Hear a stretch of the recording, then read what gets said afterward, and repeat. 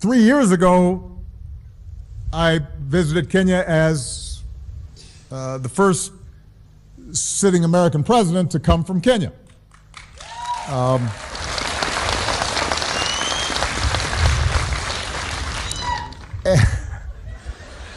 and uh, when I was president,